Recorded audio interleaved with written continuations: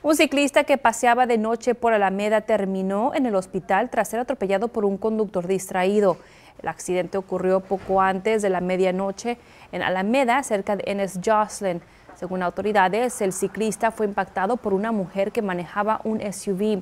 Afortunadamente, las heridas que sufrió el ciclista no ponen en riesgo su vida. La mujer, por su parte, recibió una multa por ir manejando y también utilizando su teléfono celular, además de otra multa por no controlar su velocidad.